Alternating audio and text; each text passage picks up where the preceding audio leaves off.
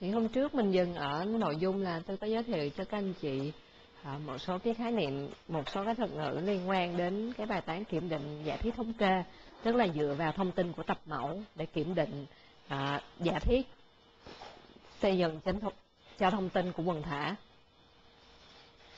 Thì về nguyên tắc chính chính là các anh chị sử dụng tập mẫu và các anh chị từ đó đưa ra quyết định là chấp nhận hay là loại bỏ một cái giả thiết mà đặt ra cho tham số của quần thể thì thông thường giả thiết người ta sẽ gồm khi đặt giả thiết sẽ gồm hai vế vế thứ nhất gọi là giả thiết h không tức là giả thiết mà các anh chị nghi ngờ và h1 là giả thiết khác ngược lại với giả thiết giả thiết h không thì mình sẽ dựa vào thông tin tập mẫu để đưa ra quyết định hoặc là chấp nhận giả thiết h không hoặc là bác bỏ giả thiết h không mà bác bỏ giả thiết h không đồng nghĩa với mình chấp nhận giả thiết h1 thì các bước, các cách thức mà các anh chị đưa ra quyết định dựa trên tập mẫu, gọi là thủ tục kiểm định. Có vô số thủ tục kiểm định.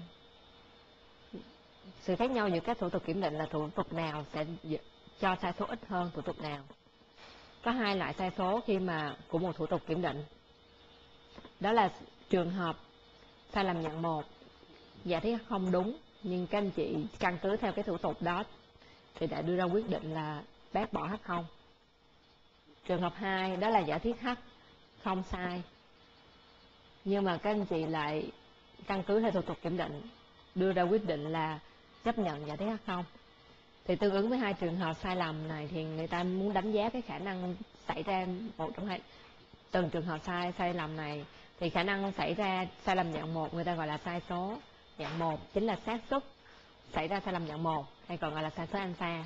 Còn cái xác suất xảy ra sai lầm dạng hai thì gọi là sai số beta. Và một thủ tục kiểm định được tốt, gọi, được, gọi là tốt nếu như thủ tục đó có sai số alpha, beta càng nhỏ càng tốt. Nhưng mà thông thường cả hai sai số này không thể đồng thời nhỏ nhất được. Do đó, thường cái này nhỏ thì cái kia sẽ tăng lên. Do đó người ta sẽ chọn thủ tục nào có sai số chấp nhận được.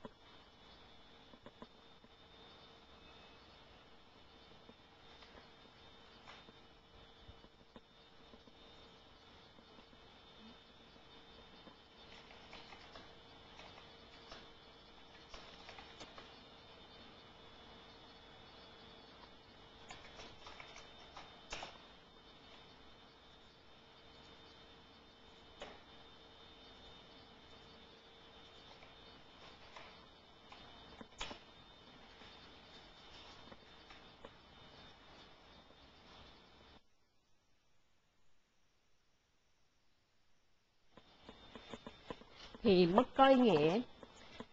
Gọi là level of significance là cái con số người ta muốn chặn trên cho sai số, sai lầm dạng một, sai số dạng một hay là sai số alpha.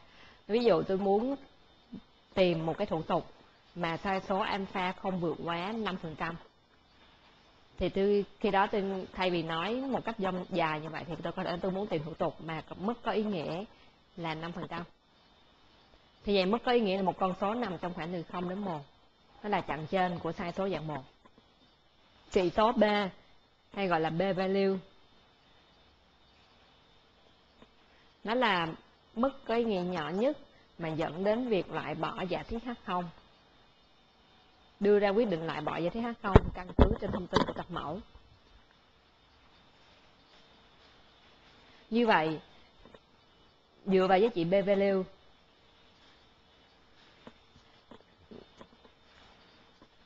người ta có thể đưa ra quyết định chấp nhận hay là bác bỏ giả thiết khác không? Thì mình sẽ xem cái ví dụ để các anh chị hiểu cái ý nghĩa của của giá trị b value cái trị số b này.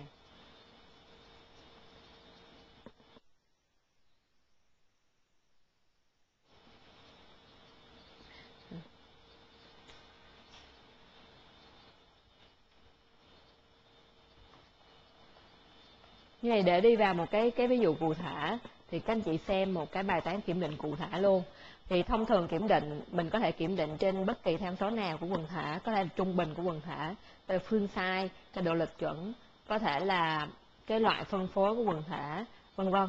Thì ờ, trong cái ví dụ trong cái bài toán cụ thể này thì người ta muốn kiểm định trên giá trị trung bình của quần thể.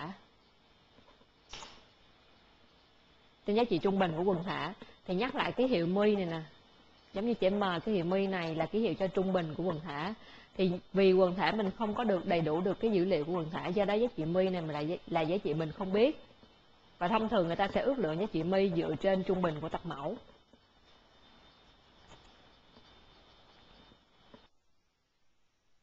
Ta ước lượng giá trị mi là bằng giá trị cụ thể. Người ta ký hiệu là mi zero. Đây là một con số hằng số cụ thể nào đó thì sau khi ước lượng thì người, thông thường phải làm một bước nữa là mình kiểm định lại xem là liệu cái cái việc ước lượng đó nó sai số nó có lớn hay không, nó có chấp nhận được hay không, thì sẽ thực hiện bước tiếp theo, đó là bước kiểm định giá trị trung bình. Thì như vậy tôi giả thiết đặt ra là mi bằng mi zero mi zero này là một hằng số.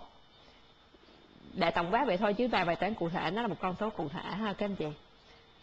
H1 là giả thiết khác là ngược lại với h0 nghĩa là mi khác mi zero như vậy tôi cần một thủ tục kiểm định để căn cứ vào thông tin tập mẫu đưa ra quyết định là chấp nhận H0 hay là bác bỏ H0 thì như vậy tôi sẽ dựa vào tập mẫu cố gắng tìm được, chứng cứ bác bỏ giả thiết H0 nếu không tìm được thì tôi chấp nhận giả thiết H0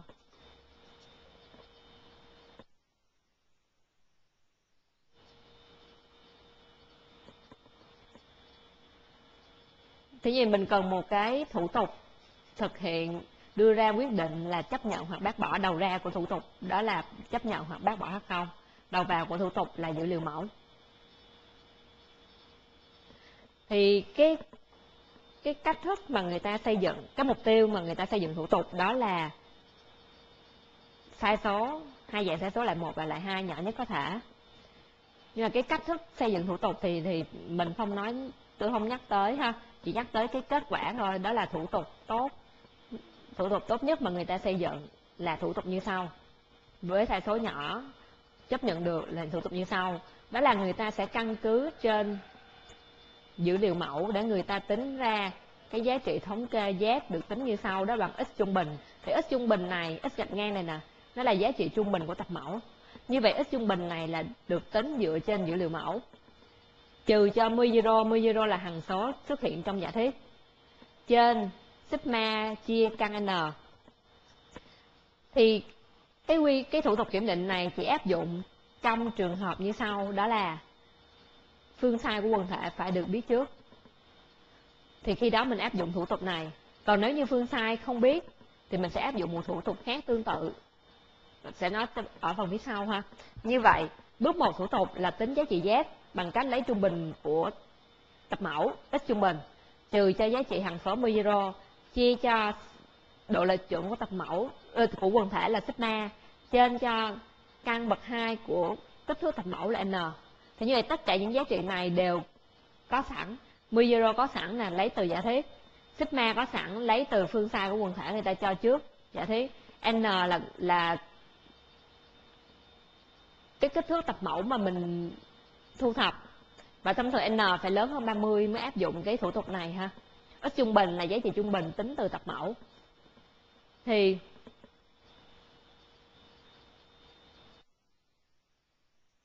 thì trong trường hợp mà giá trị tập mẫu lớn, phương sai biết trước, thì biến z này nè, biến z này, ứng với một tập mẫu cụ thể sẽ có một giá trị cụ thể. Nhưng mà nếu mà tôi lấy mẫu lại lần khác, thì giá trị z này sẽ ra giá trị khác. Như vậy z này là một cái ngẫu nhiên.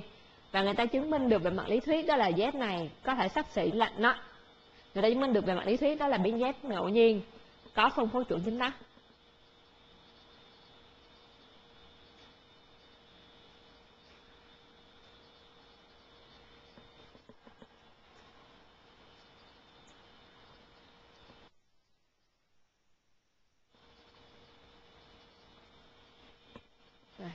Vậy tôi ghi lại nhẹ lắm thôi Như vậy tôi đang xếp đến bài toán kiểm định cho tham số. Nguy là tham số trung bình của quần thể.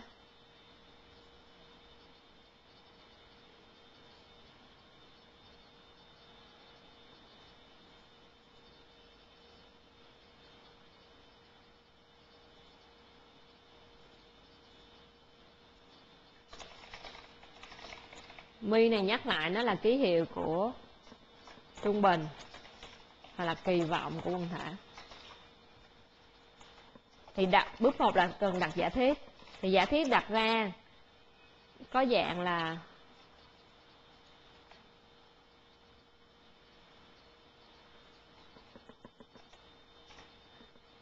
h không mi bằng một hằng số nào đó. Thì ký hiệu là mi một. Cái này chỉ là ký hiệu thôi, còn trên thực tế nó, khi mà đụng vào bài cụ thể, nó phải là một con một, một hàng số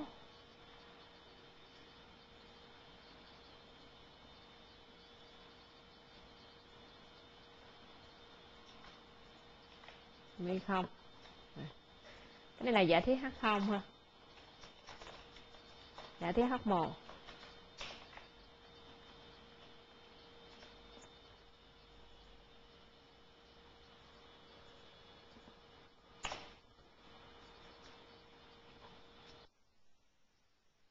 Một số trường hợp sau đây, trường hợp 1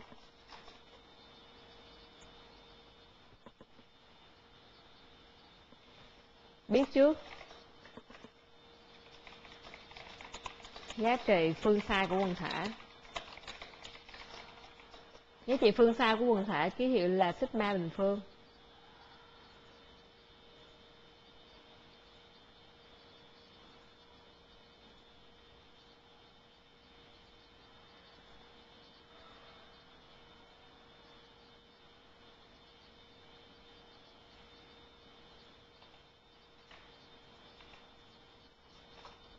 Trường hợp 2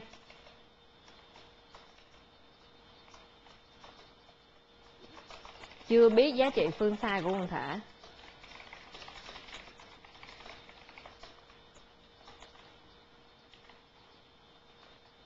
Nhưng mà kích thước tập mẫu lớn.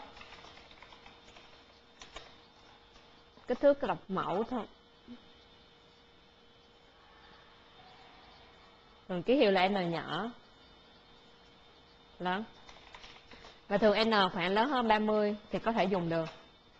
Càng lớn thì cái sai số nó càng thấp, nhưng mà lớn hơn 30 là có thể bắt đầu dùng được. Thì nếu nó rơi vào trường hợp 1 và trường hợp 2 này tôi ký hiệu là một A, một B ha. Một B. Thì nó rơi vào, nếu mà nó rơi vào trường hợp một A hoặc một B, tức là hoặc là biết trước phương sai của quần thể, hoặc là mặc dù chưa biết phương sai nhưng kích thước của tập mẫu lớn thì về mặt lý thuyết người ta biết rằng biến giác. Biến giác nếu được chuẩn hóa từ biến ít ngạch tức là trung bình của tập mẫu thì tôi, trong cái bài trước thì tôi có nói giải thích tại sao là trung bình của tập mẫu là biến ngẫu nhiên là tại vì nó phụ thuộc vào tập mẫu các anh chị lấy. Mà tập mẫu lấy là mình lấy hoàn toàn ngẫu nhiên do đó cái giá trị mà tính từ tập mẫu là giá trị ngẫu nhiên luôn thì biến x này là một biến ngẫu nhiên. Thì mình chuẩn hóa biến x này.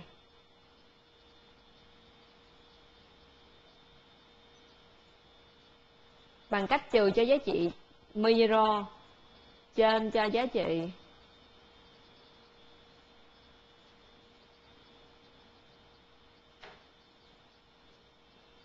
Sigma trên căn n. Thì biến biến z này phụ thuộc biến x, mà biến x này là biến x trung bình, x trung bình này là biến ngẫu nhiên, thì z cũng là một biến ngẫu nhiên. Biến ngẫu nhiên. Và biến ngẫu nhiên thì nó sẽ có phân phối. Và phân phối của biến z trong trường hợp một a và một b là phân phối chuẩn chính tắc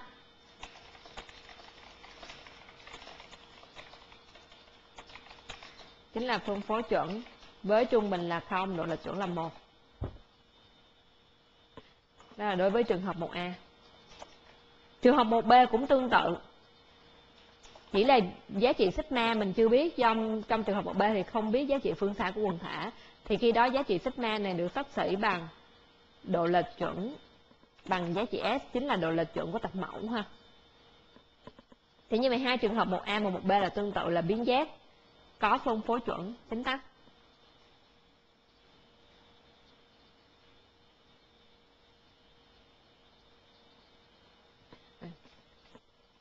một trường hợp khác là trường hợp 2 đó là chưa biết giá trị phương sai của quần thể.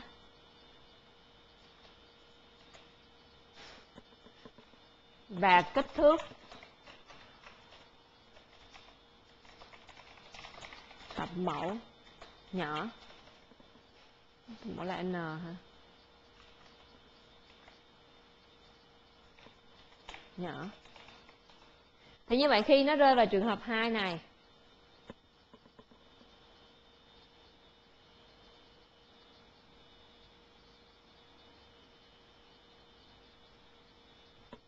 ba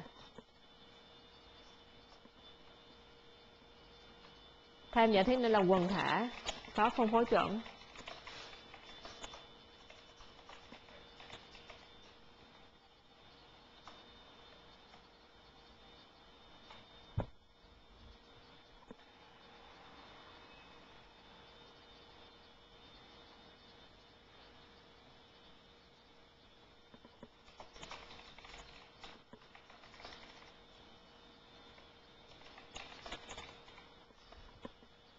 Khi đã tương tự cũng chuẩn hóa một biến ngẫu nhiên x ngạch về một biến ngẫu nhiên khác. Thì trong trường hợp này để cho phân biệt để mà không nhầm lẫn nó có phân phối chuẩn chính tắc á, thì người ta ký hiệu khác là chữ T.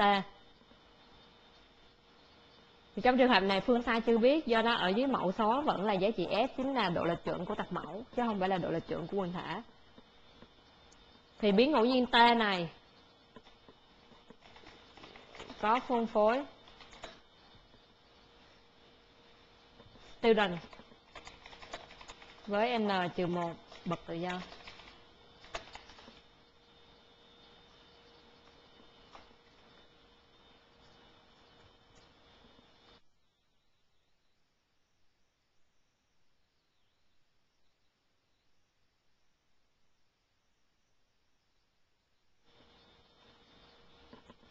Thì như vậy, khi đối với bài toán kiểm định giả thiết cho tham số trung bình của quần thể thì nó chỉ rơi vào một trong ba cái trường hợp. Trường hợp, thông thường đó là trường hợp thứ nhất. Mình biết trước phương sai của quần thể. Thì đối với trường hợp này, nếu đem biến x gạch chuẩn hóa bằng cách lấy x gạch trừ mơ zero trên độ lệch chuẩn sigma trên căn n, thì biến z này sẽ có phân phối chuẩn chính tắc trường hợp thứ hai, đó là không biết trước phương sai của quần thể, nhưng mà kích thước tập mẫu lớn, thì trong trường hợp này biến z cũng chuẩn hóa tương tự, chỉ có điều là do không biết trước cái phương sai sigma bình của quần thể, do đó ở phần mẫu số thì không xuất hiện giá trị sigma mà thay giá trị sigma bằng giá trị s. Ở đây s này chính là độ lệch chuẩn của tập mẫu. Thì biến giá này sẽ có phân phối chuẩn chính tắc luôn. Và trường hợp thứ ba, trường hợp cuối cùng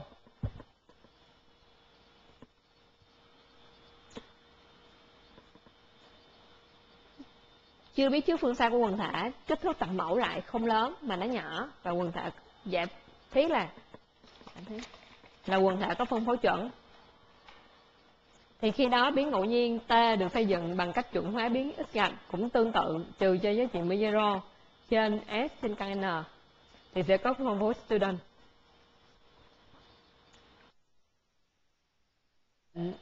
Sẽ thực hiện kiểm định dựa vào phân phối của biến Z trong trường hợp 1A, 1B và dựa vào phân phối của biến T trong trường hợp 2.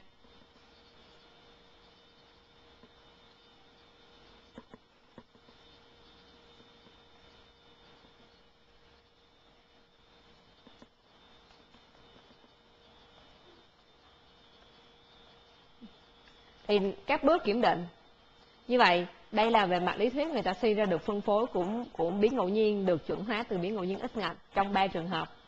Thì người ta sẽ dựa vào phân phối của biến biến ngẫu nhiên này, biến z hoặc biến ta để mà thực hiện kiểm định. Và các bước kiểm định như sau. Thủ tục kiểm định tốt nhất mà người ta đã xây dựng được. Để kiểm định cho bài toán, kiểm định cho giá trị trung bình của quần thể thì thủ tục kiểm định tốt. Gồm các bước như sau. Bước thứ nhất là các anh chị muốn sai số lại một bị chặn ở mức nào.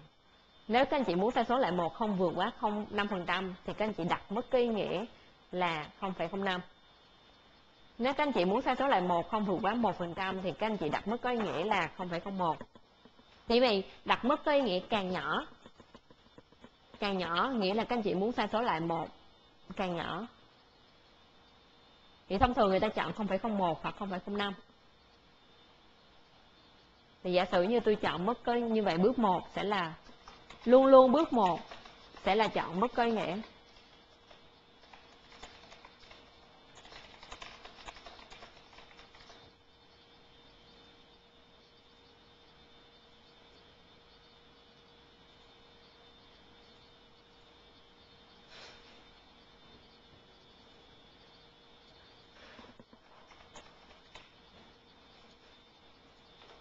Rồi, vậy từ tôi chọn bước có nghĩa là 0,05. Bước 2.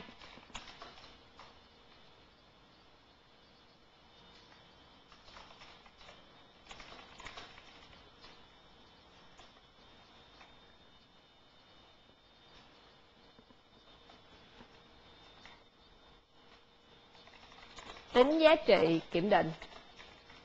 Người ta gọi là test statistics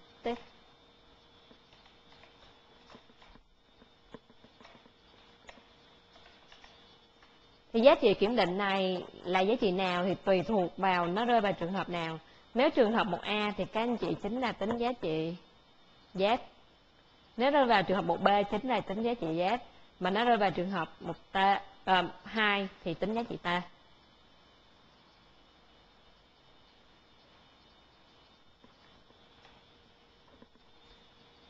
Và bước cuối cùng.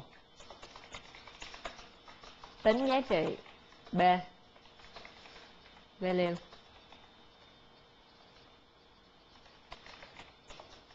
bước 3 và bước 4 ha. Bước 4 là căn cứ vào giá trị. B value để đưa ra quyết định. Lưu ý là quyết định chỉ có một trong hai. Chấp nhận. H0 hay loại bỏ H0 luôn luôn là chỉ là quyết định chấp nhận hoặc là lại bỏ ha, không có cái quyết định nước đôi ha. Thì như vậy nó sẽ gồm bốn bước, bất kỳ thủ tục nào cũng qua bốn bước như vậy.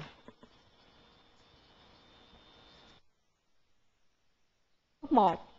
Bước hai, bước một là tùy vào mức độ sai số các anh chị cho phép lưu ý là sai số em sai số này nhỏ sai số kia sẽ lớn do đó là người ta chọn cái mức cân bằng và thông thường con số người ta chọn là 0,05 0,01 hoặc là cao lắm thì người ta chọn là 0,1 0,1 thôi cao lắm. Còn thấp lắm thì người ta chọn 0,001 thường người ta chọn 0,05 hoặc là 0,01 bước 1 chọn mức có nghĩa thì tùy vào cái người thực hiện. Muốn sai số bị khống chế mức độ nào. Bước 2, tính giá trị kiểm định thì bước này sẽ thay đổi tùy thuộc vào cái bài toán kiểm định. Nếu bài toán kiểm định trung bình rơi vào trường hợp 1A thì dùng công thức này Z bằng x trung bình trừ M0 trên sigma trên căn N để tính giá trị kiểm định. Rơi vào trường hợp 1B thì sẽ dùng công thức Z bằng x trung bình trừ M0 trên S trên căn N. Nếu rơi vào trường hợp 2 thì sẽ tính T bằng x trung bình trừ M0 trên S trên căn N.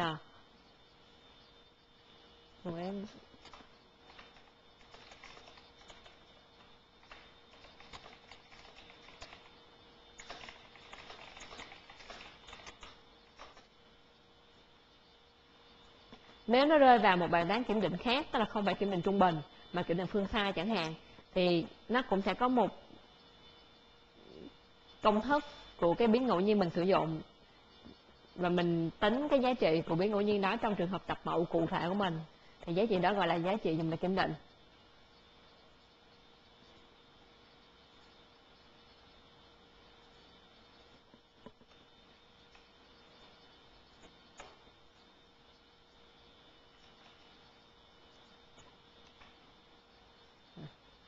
Ngày bước 2 tính giá trị kiểm định.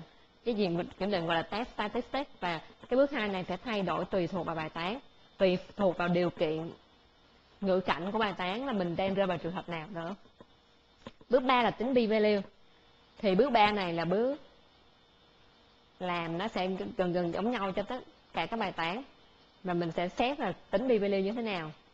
Và bước 4 là căn cứ vào giá trị p-value để đưa ra quyết định thì cái bước 4 này là nó theo mẫu luôn. Khi nào p value mà lớn hơn giá trị alpha mà các anh chị đã chọn?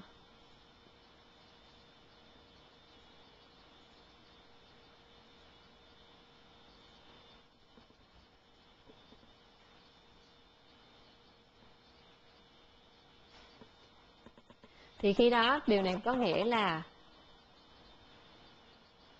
không đủ thông tin để bác bỏ h không, thì khi đó sẽ đưa ra quyết định là chấp nhận h không.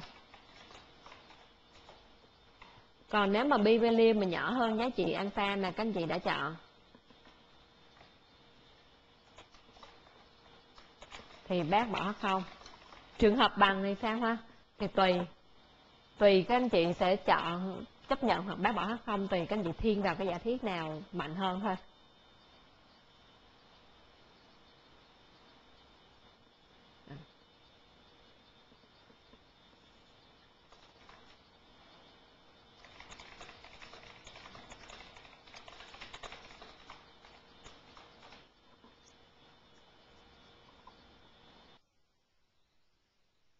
Lưu ý cái việc chấp nhận hết không này có nghĩa là dựa vào tập mẫu các anh chị đang có thì các anh chị không tìm đủ thông tin để đưa ra quyết định bác bỏ do đó mình mới chấp nhận. Và dĩ nhiên là trong cái này nó có cái, cái quyết định này có khả năng là nó có sai số ha. Có khả năng là như vậy vì mình dùng thông tin nhỏ là tập mẫu để quyết đưa ra quyết định cho thông tin lớn hơn là buồn thả mà do đó có khả năng là có sai số. Thì một thủ tục kiểm định luôn gồm 4 bước như vậy. Bước 1 thì rất là dễ chọn thôi bước hai cũng rất là dễ, chủ yếu là mình xác định dùng công thức nào. Thì mình phải xác định, muốn xác định dùng công thức nào phải xác định cái tham số mình kiểm định là tham số nào, giả thiết đặt như thế nào. Cái điều kiện mà mình đang có là điều kiện như thế nào, thì nó rơi vào trường hợp nào thì cái đó các anh chị sẽ xác định được cái công thức mà các anh chị tính giá trị kiểm định. Thì bước hai cũng không khó. Bước ba bước ba là tính giá trị b value từ giá trị kiểm định vừa vừa tính được bước hai thì bước này mặc dù bước này nó sẽ giống nhau cho mọi bài tán ha. Cái cách thức mà nó tính nó sẽ giống, gần gần giống nhau cho mọi bài tán. Và bước cuối cùng là bước 4 là căn cứ vào b value để đưa ra quyết định. Thì bước 4 này dễ, vì nó chỉ, các anh chị chỉ so sánh thôi. Nếu b value mà lớn hơn alpha thì chấp nhận hết không? Ngược lại thì bác bỏ hết không? Thì cuối cùng b value là giá trị gì? Mà người ta có thể căn cứ vào giá trị bi value để đưa ra quyết định chấp nhận hoặc là bác bỏ giả thiết.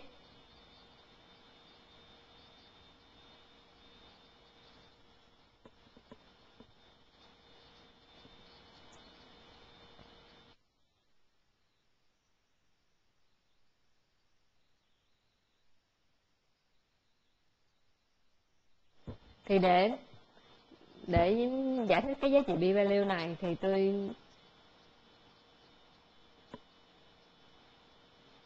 nhưng mà cái uh, ví dụ luôn ha.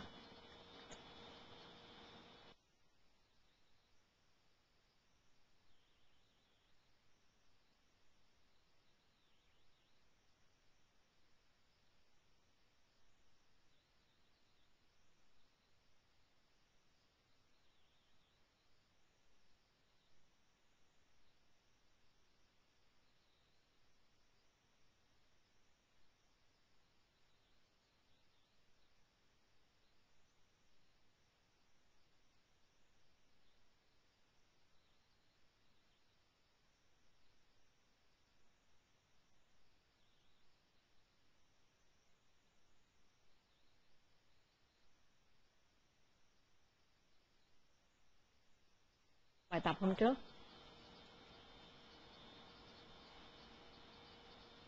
Rồi tôi quay lại đây ha.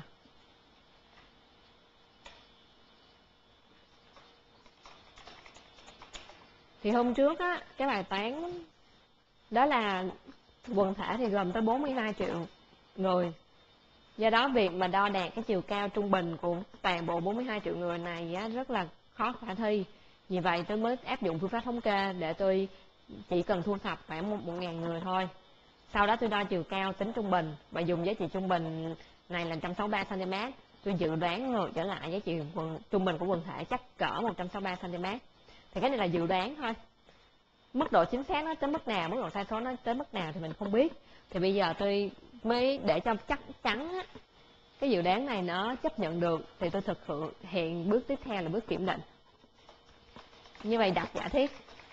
Giả thiết cần kiểm định. Thì tôi nghi ngờ là giá trị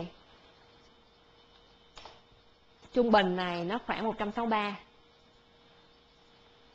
thì như vậy giả thiết H0 tôi sẽ đặt là mi bằng 163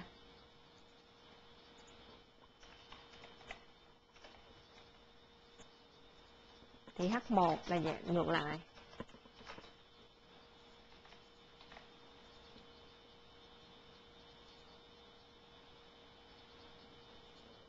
Mi khác 163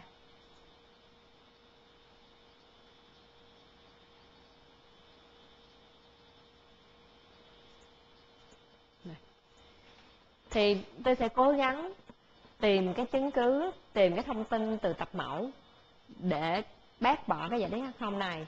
Và nếu như trong trường hợp mà bác bỏ không được, thì suy ra giải thuyết không có thể chấp nhận được. Như vậy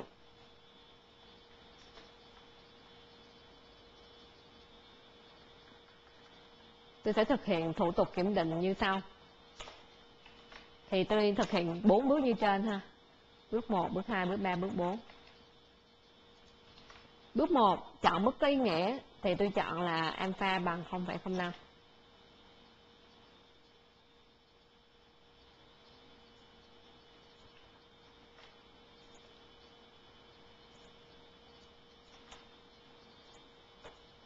Dạ, dạ Giả sử tôi chọn alpha là 0,05 tính giá trị kiểm định thì bước 2 này tôi chưa tính được tôi cần phải xác định xem là bài toán này nó rơi vào bài toán nào trường hợp nào. Thì thứ nhất bài toán này là bài toán kiểm định trên trung bình của quần thể như vậy nó rơi vào một trong ba cái cái cái trường hợp mà mình vừa nói là nó rơi vào bài toán này. Kiểm định trung bình quần thể và nó rơi vào một trong ba trường hợp một a một b hoặc là hai. Thì trong bài toán của tôi tôi chưa biết phương sai của quần thể. Tôi chỉ biết là quần thể có 42 triệu người thôi phương sai bao nhiêu thì chưa biết. Do đó là lại là lại trường hợp A. Như vậy chỉ có thể là rơi vào trường hợp 1B hoặc là trường hợp 2 thôi. Thì trong trường, trong bài này thì sao ha? Cái bài này thì kích thước tập mẫu, tôi lấy là 1.000 người là quá lớn. Chỉ cần lớn hơn 30 là dùng được rồi 1.000 người thì quá lớn. Thì như vậy nó sẽ không rơi vào trường hợp 2 luôn. Thì nó rơi vào trường hợp 1B thì như vậy khi các anh chị xác định được đây là bài toán kiểm định giả thiết thống kê cho tham số. Mi cũng trung kỳ vọng của quần thể trường hợp chưa biết phương sai và kích thước tập mẫu lớn.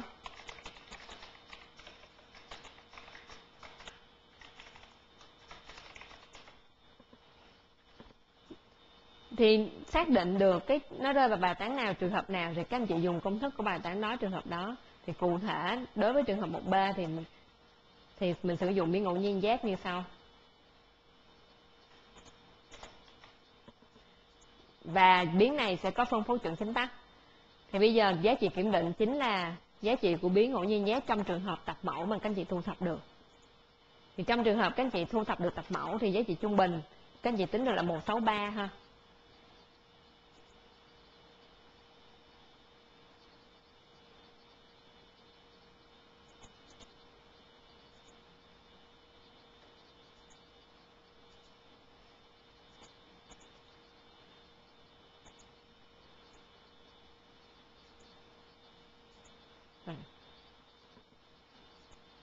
Thì trung bình của tập mẫu tính được là 163 mi 163 luôn. Rồi. Giá trị phương sai của tập độ lệch chuẩn của tập mẫu thì hôm trước tính được là 6,6 trên căn của 1000 ha.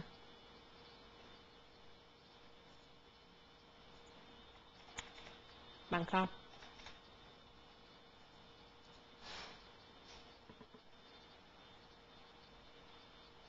Như vậy giá trị test statistic chính là bằng không?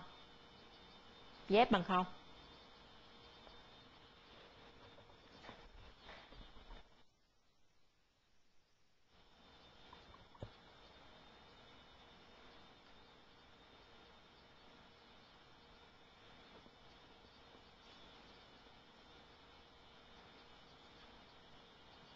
Xin lỗi tôi đổi lại cái này một chút. Tôi giả sử tôi kiểm định cái giả thiết đó. Thôi, cứ để nguyên cũng được. Rồi. Giá trị B value. Thì biến Z này là biến có phân phối chuẩn chính tắc. Và các anh chị nhớ lại cái hình vẽ của phân phối chuẩn chính tắc là hình chuông.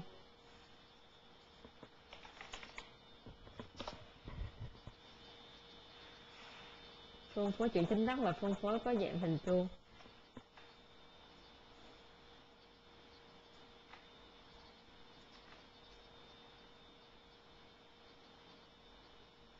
Này tương đối thôi ha. Hình chuông đối xứng.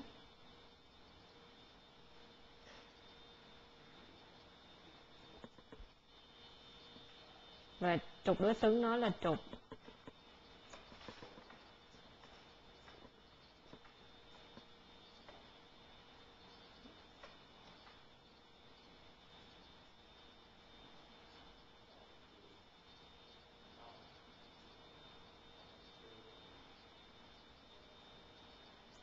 Cái không?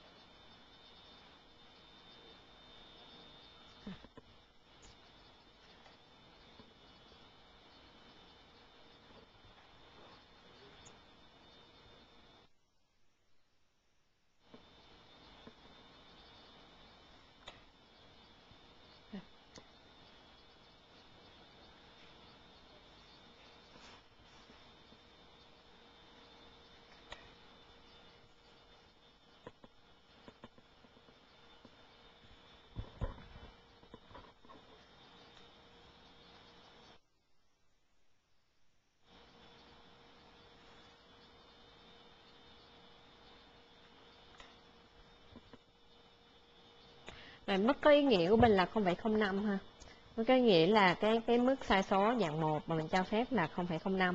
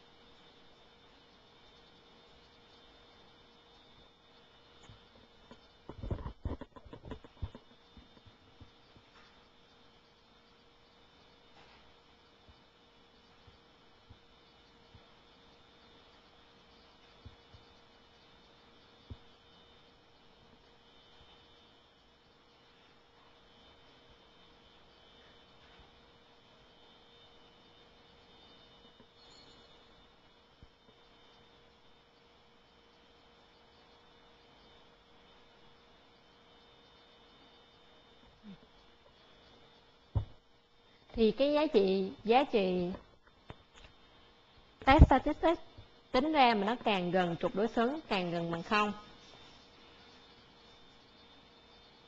Thì cái mức sai số nó sẽ càng giảm và càng xa trục đối xứng thì nó sẽ càng có khả năng sai.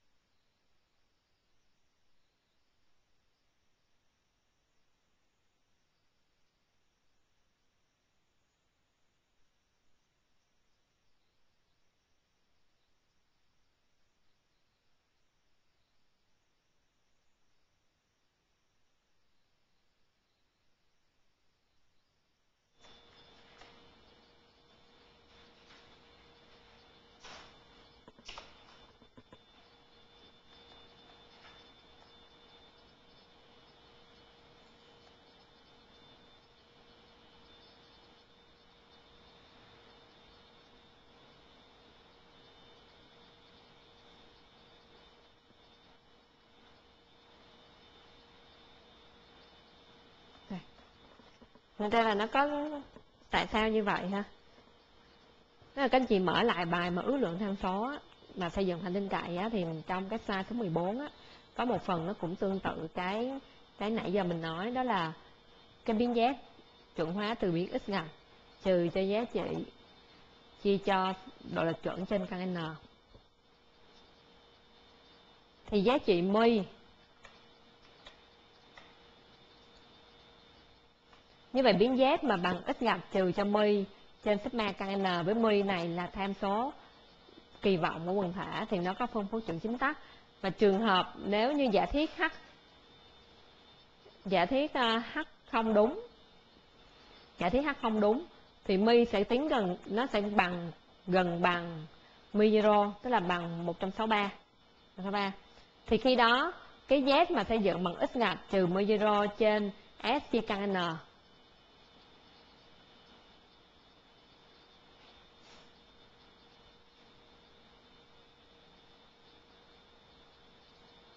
thì nó sẽ cái giá trị z đó.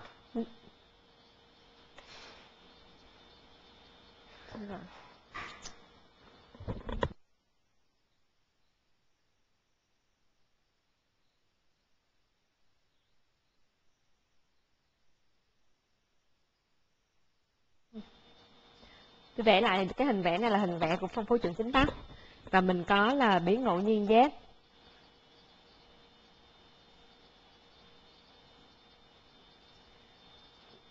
bằng x trung bình trừ m trên s chia căn n. Thì biến ngẫu nhiên, đây là biến ngẫu nhiên. Thì biến ngẫu nhiên này sẽ có phân phối chuẩn chính tắc do đó là có, khi vẽ hình thì nó sẽ có vẽ hình, cái xác suất của phân phối chuẩn chính tắc nó sẽ có dạng hình chuông. Và trong cái trường hợp tập mẫu của mình thì giá trị z này tính là bằng không, tức là nằm ngay giá trị đây. Nằm ngay đây ha, nằm ngay đây.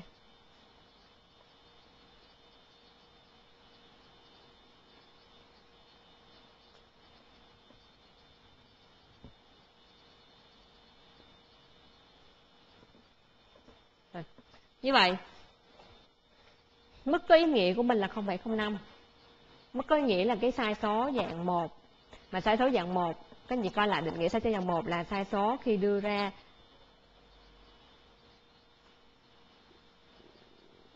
coi lại. Sai số dạng 1 là sai số khi đưa ra quyết định loại bỏ H0 trong khi H0 đúng. Nghĩa là H0 là gì hả? H0 là pi bằng 163 nhưng mình lại đưa ra quyết định là loại bỏ H0.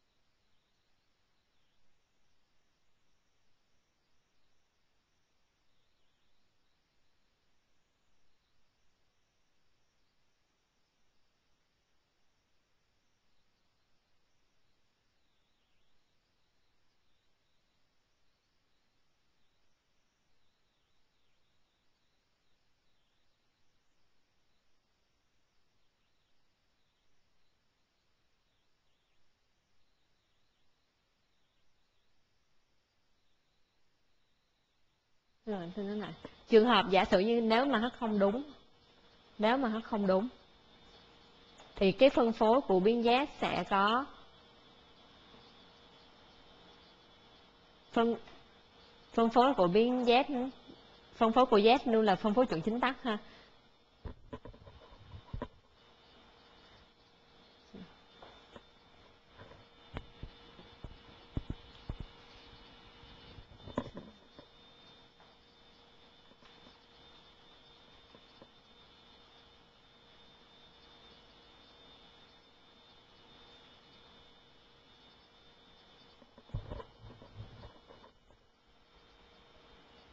Thì trường hợp h không đúng thì biến giá sẽ có phân phối chuẩn chính tắc.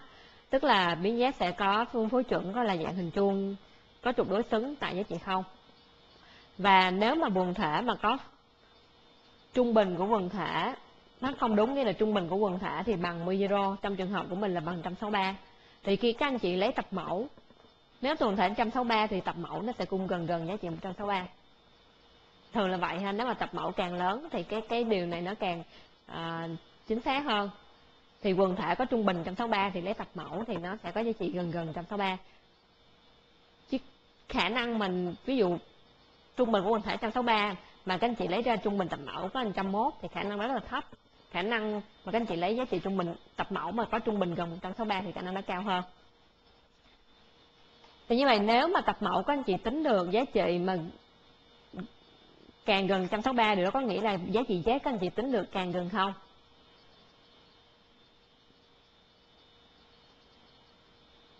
Thì nó hợp lý ha. Hợp lý nếu mà giả sử như quần thể cái h có trung bình bằng 100, đúng 163 tức là h không nó không đúng.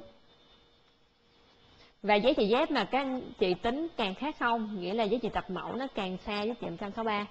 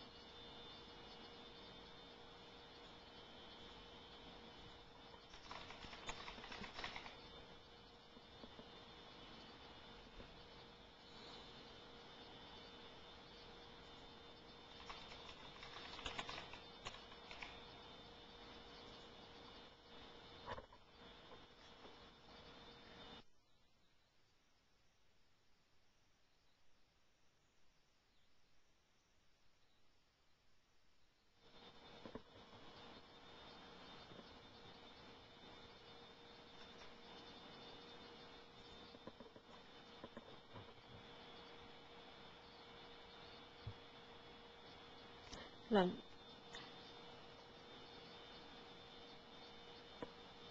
Tuy à, đổi lại cái này một tí cho nó dễ nói ha. H0 của tôi là mi bằng 160. H1 là mi khác 160. Rồi lát nữa mình quay lại ví dụ góc sau rồi. 160 thì nó sẽ bằng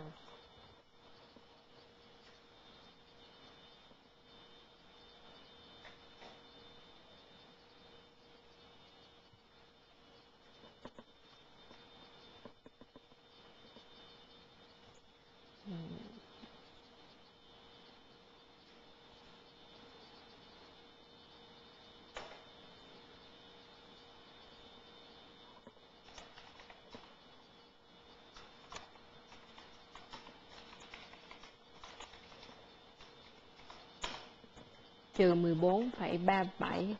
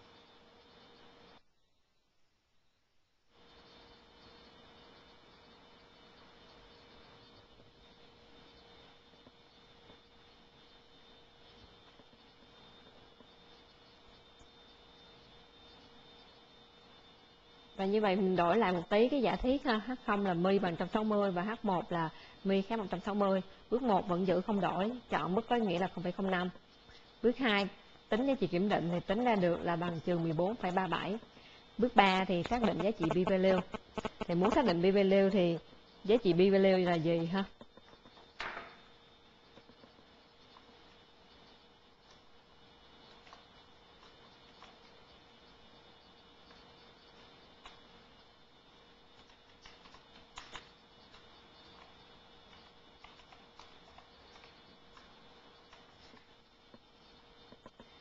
Rồi, như vậy tôi vẽ cái giá trị trừ 14,37 trên cái cái đồ thị này. Thì giả sử giá trị ở đây. Giả sử giá trị ở đây ha. Là trừ 14,37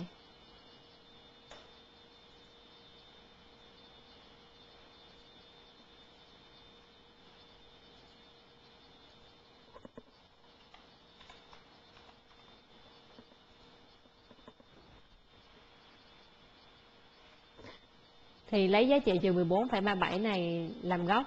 Lấy cái điểm đối xứng của trừ 14,37 qua trục không thì tôi sẽ có giá trị là cộng 14,37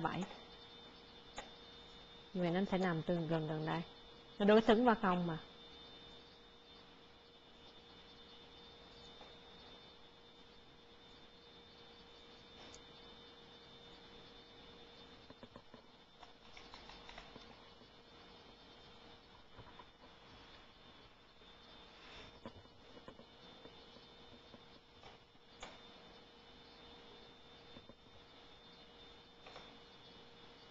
Sau đó lấy hai cái giá trị trừ 14,37 này với 14,37 này làm góc làm uh, móc. Tôi tính tôi tính phần xác suất. Nó nằm ngoài hai nằm ngoài đoạn Z nằm ngoài đoạn trừ 14,37 đến 14,37 nằm ngoài đoạn này ha tức là nằm phía ngoài này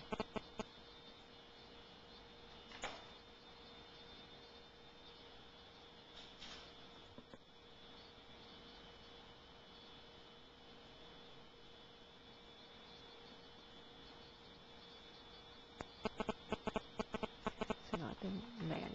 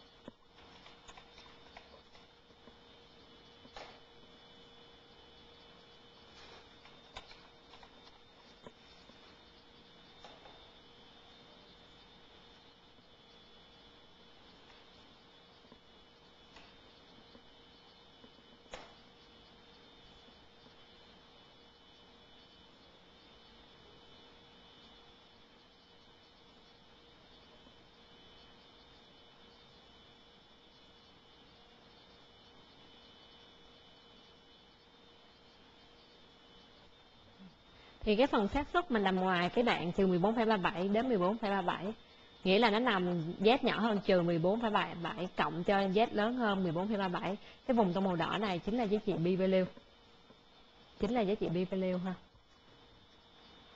Và do tính do đó hai cái vùng bên trái và bên phải này là hai vùng bằng nhau. Do hình chu là hình đối xứng hai giá trị trừ 14,37 và cộng 14,37 là hai giá trị đối xứng do đó vùng màu đỏ bên trái và vùng màu đỏ bên phải là hai vùng đối xứng nhau có diện tích bằng nhau. Thì do đó để tính giá trị p value thay vì phải tính hai vùng cộng lại thì chỉ cần tính một vùng rồi nhân đôi thôi. Đó là công thức là lấy xác suất mà z lớn hơn 14,37 ở đây là ký hiệu trị tuyệt đối ha trị tuyệt đối. Của trừ 14,7 là 14,37 rồi nhân đôi thôi thì sẽ ra được diện tích vùng màu đỏ này. Thì vùng màu đỏ này chính là giá trị p value như là BB lưu là giá trị gì? Đó là giá trị được tính dựa vào test statistics của anh chị. Ở bước 2 các chị tính test statistics ra trừ 14,37 thì dùng giá trị trừ 14,37 này mình tính cho giá trị BB lưu.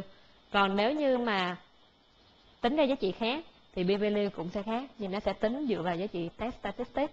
Và cụ thể nó chính là vùng xác suất.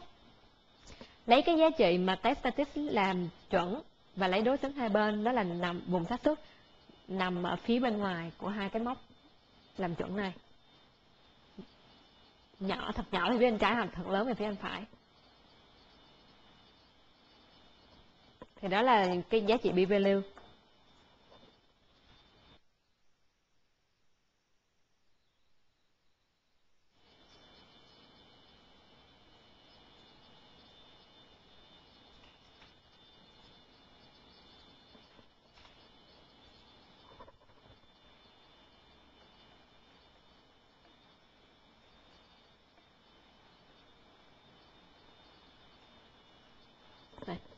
thì giả sử như là h không đúng thì biến giá này sẽ có phân phối chuyển chính tắc là cái hình chuông này.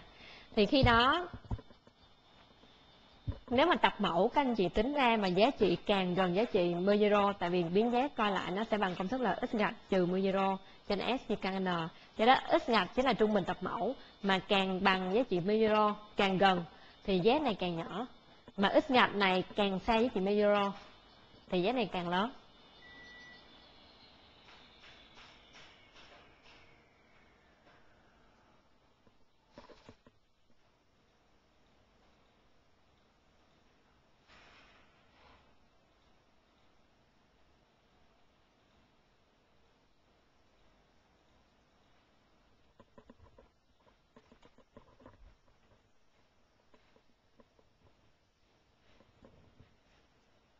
Như vậy.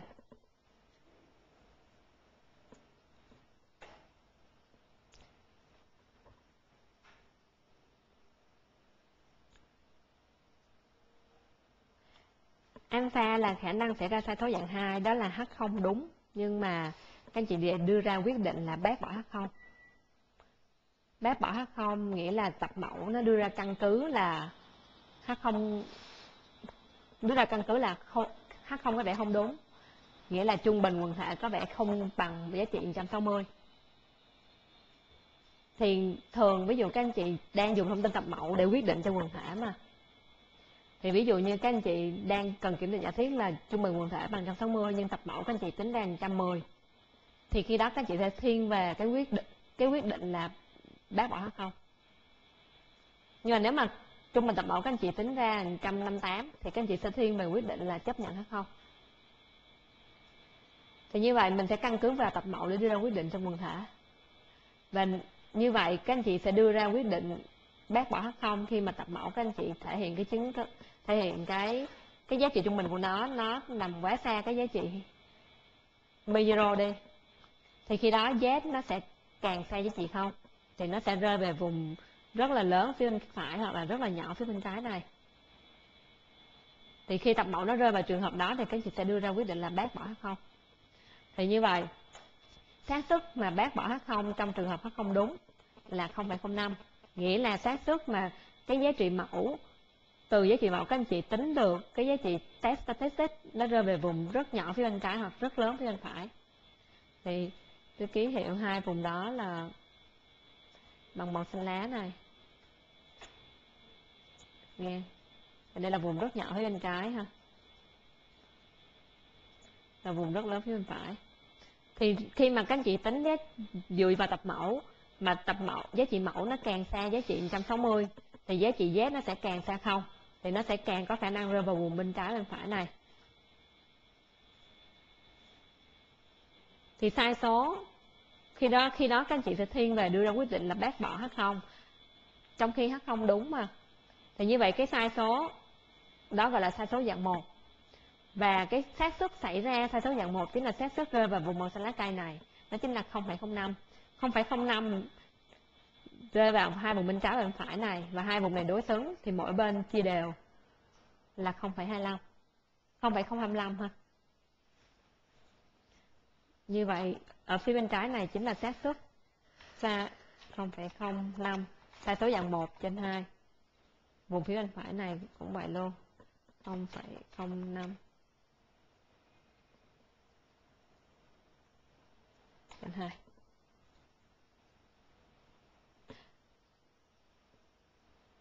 thì nếu như mà tập mẫu các anh chị tính ra rơi vào vùng màu xanh lá cây thì sẽ đưa ra quyết định là bác bỏ H0 như vậy tôi ký hiệu cái vùng xanh lá cây này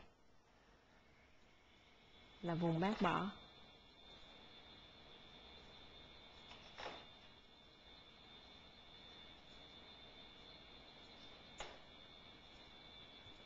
Là vùng bác bỏ ha. Tương tự bên đây. Cái này cũng là vùng bác bỏ.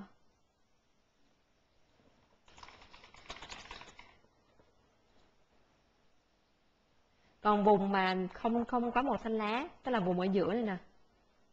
Vùng giữa này thì là vùng chấp nhận.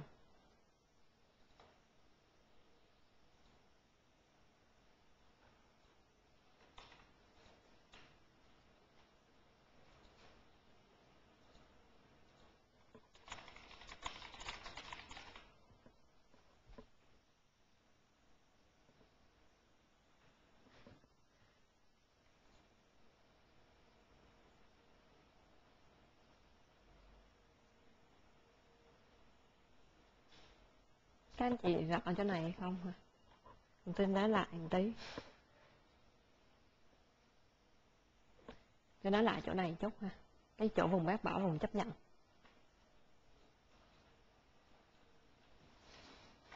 Vì mình đang giả thiết khắc không đúng mà. Khắc không của mình là 10 bằng 160 thì khi đó z với với cái là giá trị chuẩn hóa bởi x gạch trừ mơ zero trên s n là một biến ngẫu nhiên có phương phối chuẩn chính tắc tức là hình chuông này. Thì thông thường thủ tục của anh chị sẽ đưa ra quyết định dựa vào tập mẫu để đưa ra quyết định là chấp nhận hay bác bỏ hay không. Tôi đang cần kiểm định coi là trung bình quần thể có một bằng 160 hay không. Giả sử tập mẫu có giá trị 110 thì theo logic, tập mẫu 110 thì mình sẽ thiên về. Cái giả thiết là có thể quần thể cũng có trung bình là 110 thì như vậy nó quá xa giá trị 160 thì mình sẽ thiên về bác bỏ H0 nhiều hơn, đưa thiên về quyết định bác bỏ giá thiết H0 nhiều hơn. Và nếu mà các chị tính giá trị tập mẫu ra 158 thì các chị sẽ thiên về cái quyết định mà chấp nhận H0 nhiều hơn.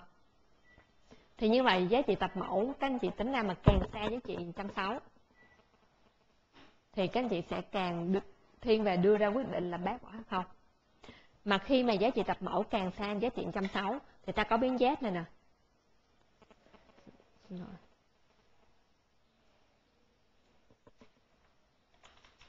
Biến z này được tính theo công thức là bằng giá trị trung bình tập mẫu trừ mi zero này là 160 trên s n thì giá trị x trung bình này mà càng xa giá trị 160 thì z này sẽ càng xa giá trị không nhưng mà ít trung bình này mà càng gần giá trị trăm sáu thì cái tử số nó càng gần không nè thì z này cũng sẽ càng gần với chị không.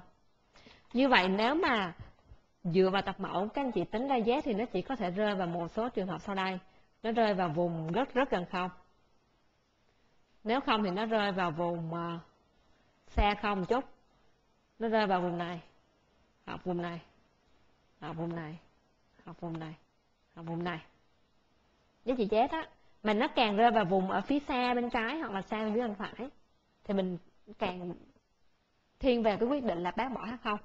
Nhưng mà trong khi em đang giải thích là h không đúng và mình bác bỏ h không chính là sai số dạng một ha sai số dạng một. Mình mong muốn là sai số dạng một nó chỉ khống chế trong bằng 5 phần trăm tức là 0,05 0,05 thì như vậy sai số dạng một chính là xảy ra khi mà giá trị của tập mẫu nó rơi vào cái vùng mà các anh chị quyết định đưa ra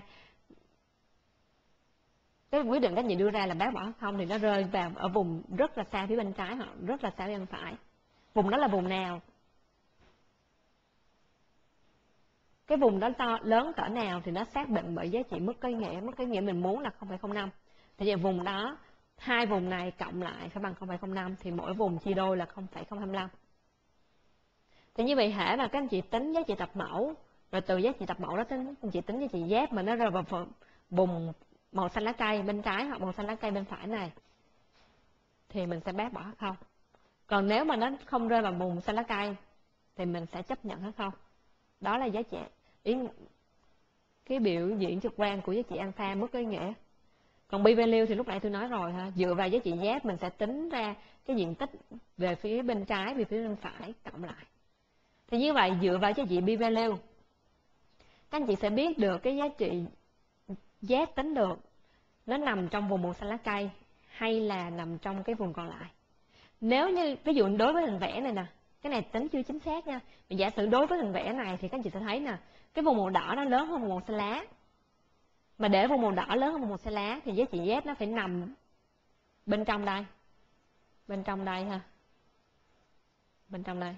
Thì vùng màu đỏ mới lớn được hơn được màu xanh lá. Thì nó nằm trên, trong đây nghĩa là nó nằm trong vùng chấp nhận còn trường hợp thứ hai, nếu như vùng màu đỏ nhỏ hơn vùng màu xanh lá tôi vẽ lại màu khác chẳng hạn. Vẽ chẳng hạn, nếu mà vùng màu tím nè, đỏ hơn. Thì rõ ràng là giá trị z, giá trị z của mình nó phải nằm trong vùng màu xanh lá, thì nó mới gây ra giá trị b value nhỏ hơn. Đó là lý do tại sao người ta có thể dựa vào b value để kết luận. Nếu b value lớn hơn alpha, đồng nghĩa với cái giá trị trị z tính được nó nằm trong cái vùng vùng ở giữa này. Vùng chấp nhận. Thì khi đó mình chấp nhận hay không? Còn nếu bi lưu nhỏ hơn alpha nghĩa là giá trị z nằm trong vùng một xanh lá cây này chỉ là vùng bác bỏ. Thì đó mình bác bỏ hay không?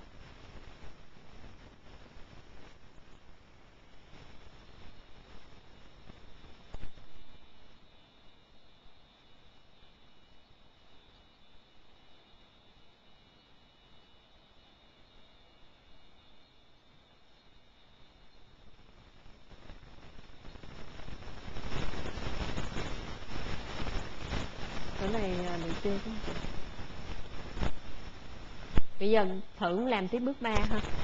Làm tiếp bước 3 thì tới bước đây là tính xác suất. Thì tính xác suất này thì mình dùng Excel mình tính thôi hoặc là các anh chị dùng bảng giá các anh chị tính. Lớn hơn trị tuyệt đối của âm 160 âm 14,37 chính là lớn hơn 14,37 thì tôi dùng Excel. Nó sẽ bằng 2 nhân cho 1 trừ xác suất. Giá nhỏ hơn 14 37 Vậy tôi sẽ dùng Excel tính ha. Nhân cho một. Tính xác suất mà Z nhỏ hơn thì dùng hàm nom disk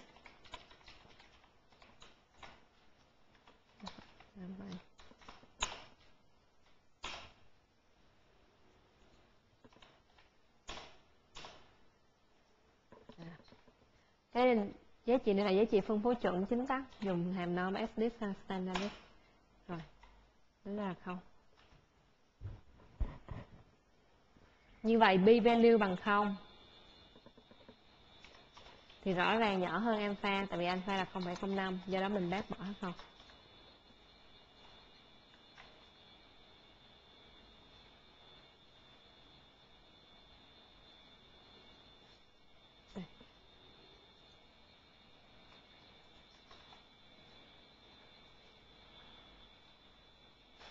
Ừ, xét ví dụ 2 ha. Như vậy cái giả thiết mà giá trị mi giá trị trung bình 160 là bác bỏ rồi đủ cứng căn cứ để bác bỏ thì tôi tôi đặt giả thiết khác để tôi kiểm định. Giả sử tôi kiểm định không phải là 160 mà là 163,5 chẳng hạn.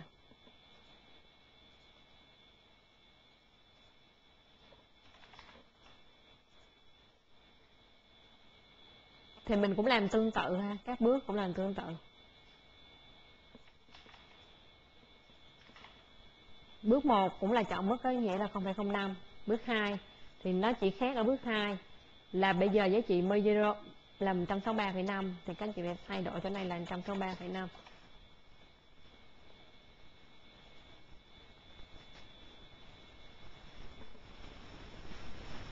Đúng rồi thì nó lúc nãy tôi tính nhầm chỗ này.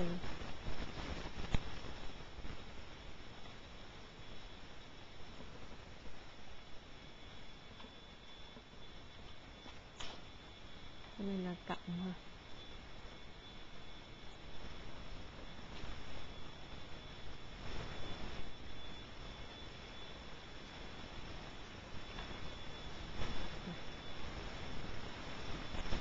thì thì mình sẽ đổi tính chỗ này là thay vì 160 là 163 Việt Nam. Thì ra được là trừ 2.4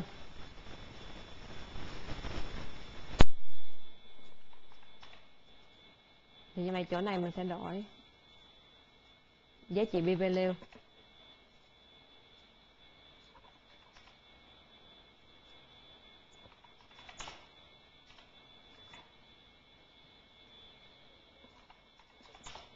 thì nó ra là 0,016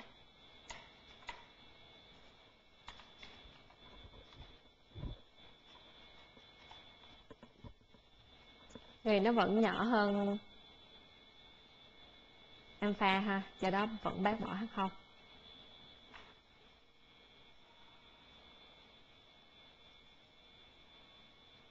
Thì như vậy cái khác ở cái đó là mình phải xác định mình sẽ dùng cái test statistic nào và tính giá trị ra như thế nào. Còn bước 1 bước 3 và bước 4 và ờ, các thủ tục kiểm định nó đều giống nhau về cơ bản nó đều giống nhau. Thì có giá trị b value nó sẽ tính ra khác, tùy thuộc vào cái giá trị test statistic mà các anh chị tính được ở bước thứ hai.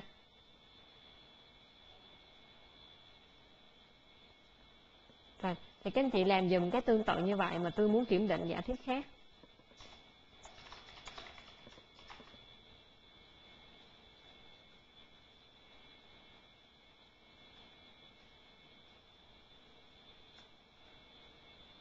Tôi kiểm định là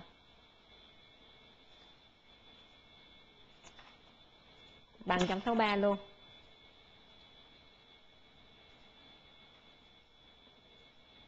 Có 3 chấm 1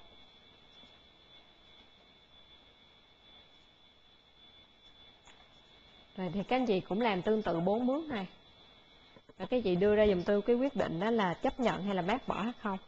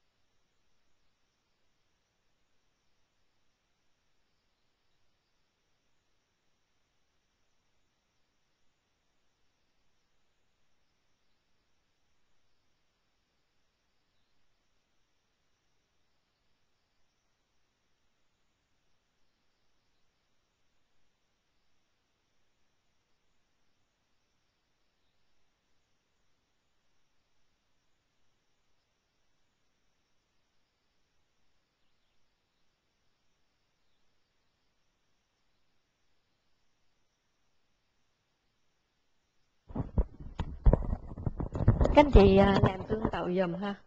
Làm tương tự dùm. Và đưa ra dùm tôi quyết định là chấp nhận hay là bác bỏ hết không?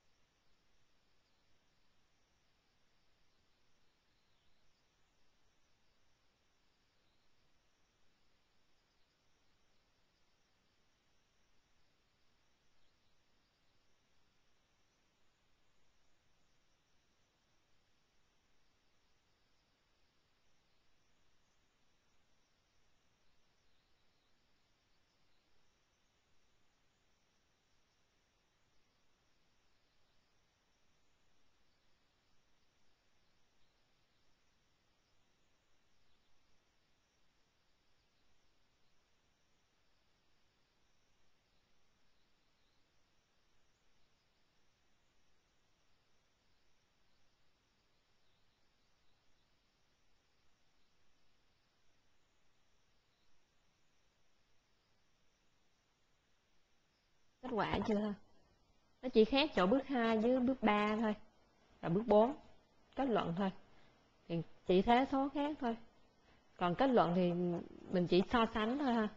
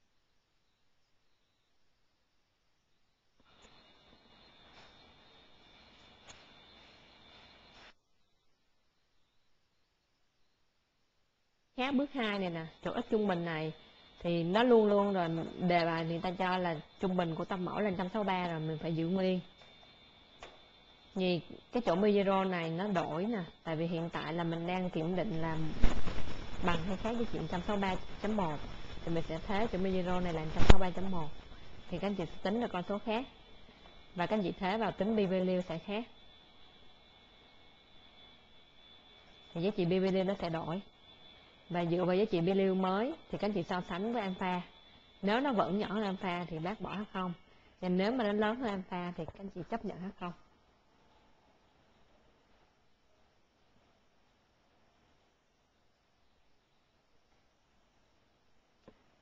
Rồi, vậy mình tính thử ha. Đây tính thử.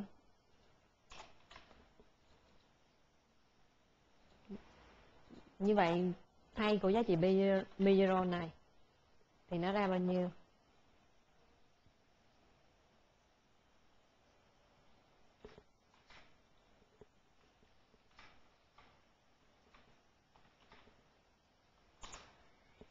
Ra được là trừ 0.48 ha 0.48 sao tôi tính đi value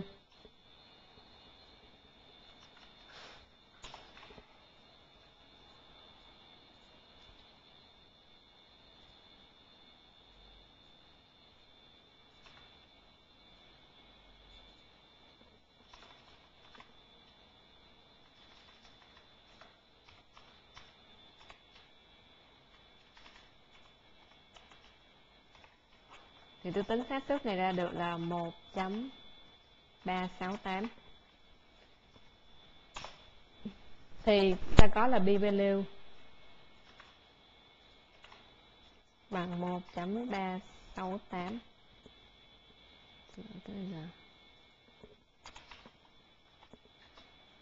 thì so với alpha alpha là 0,05 ha thì giá trị 1. xin lỗi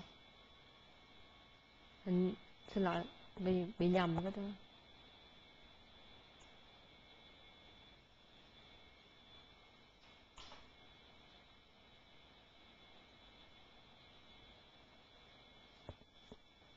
Nếu mình nhầm cái này nó phải nhỏ hơn một nó không phải lớn hơn một được. Tôi tính lại.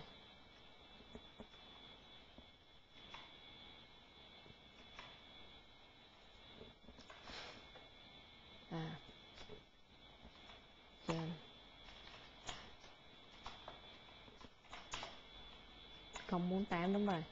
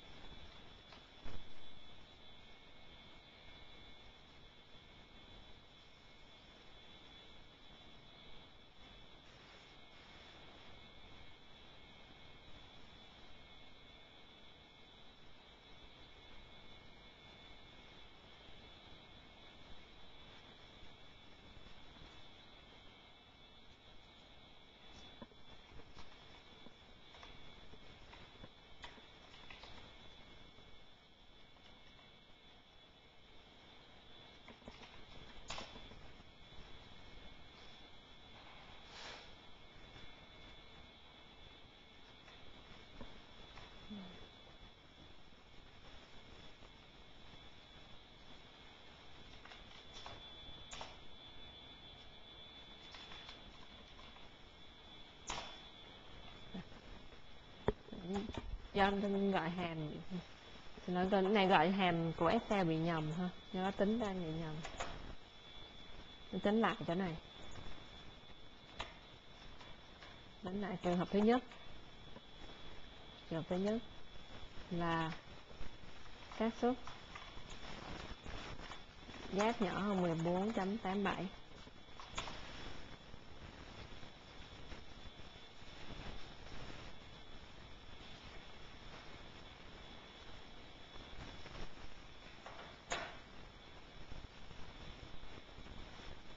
4.87 tham số thứ hai phải đặt là true thôi. Ra một. Bằng không thì chính xác rồi. Thứ hai là 2.4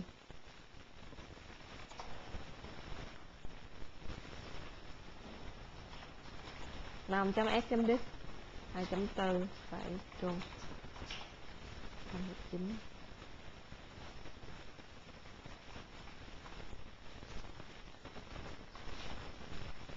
rồi chúng ta. Rồi cuối cùng ha.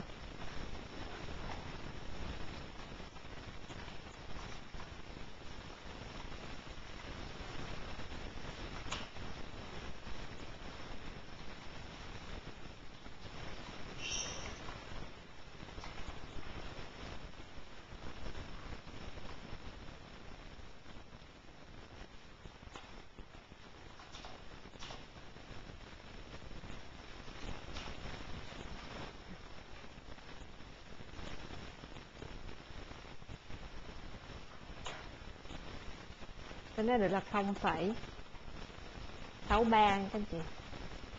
0,63 tại sao ra 0,63 thì dùng hàm cái Excel để đầu tiên mình tính xác suất mà giác nhỏ hơn 0,48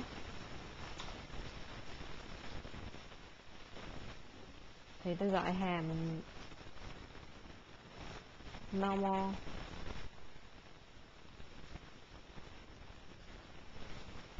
chấm standard chấm distribution. Thì có hai tham số.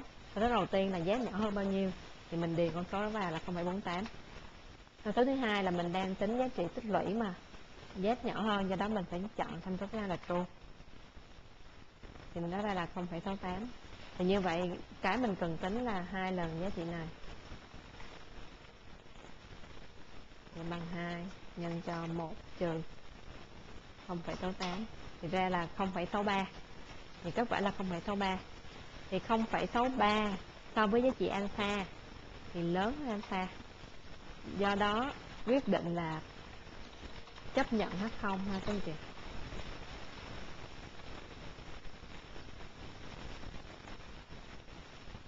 Chấp nhận chứ không phải là bác bỏ.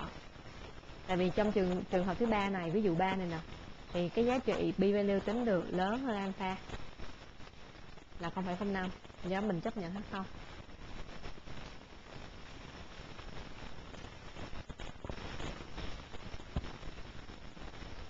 À, hay không ha? Vậy đưa ra quyết định chấp nhận hay bác bỏ thì mình phải tính được BVD trước đã. Rồi sau đó mình mới so sánh với giá trị alpha mình chọn. Rồi mình mới đưa ra quyết định. Mà muốn tính giá trị BVD value thì phải tính được cái giá trị z trước đã. Thì trong trường hợp này thì tính giá trị z còn nếu mà nó rơi vào trường hợp 1A thì cũng tính giá trị z mà nó rơi vào trường hợp 2 thì lại tính giá trị ta. Thì như vậy nó khác nhau là khác ở bước 2 này nè. Còn bước tính p value á, là nó giống nhau. Khác ở bước 2 và bước 3 ha. Bước 2 này sẽ khác tùy vào trường hợp và bước 3 này cũng sẽ khác tùy vào cái loại phân phối của biến ngẫu nhiên. Nếu như là phân phối chuẩn chính xác thì các anh chị dùng cái bảng giác hoặc là dùng hàm nom chấm standard chấm distribution để tính. Và đó là phân phối ta thì các anh chị phải dùng hàm tính phân giá trị xác suất phân phối student thì nó sẽ khác ở bước 2 bước 3 rồi bước 4 thì nó giống nhau bước 1 giống nhau. Rồi các chị có có thắc mắc này chỗ này hay không? Thứ sáu hôm này mình uh, học bù nha các anh chị. Mình sẽ dạy tiếp cái bài tập về cái phần này. Trong cái bài thứ năm này.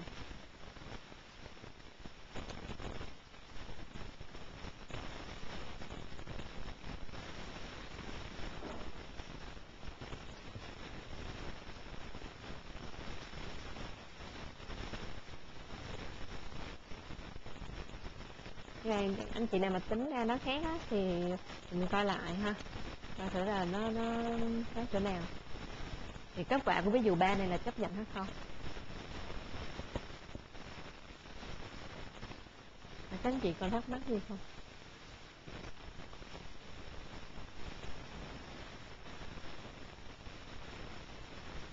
Ngày thứ sáu thì học bù mình vẫn học từ 5 giờ rưỡi. Ngày thứ sáu mình sẽ giải bài tập.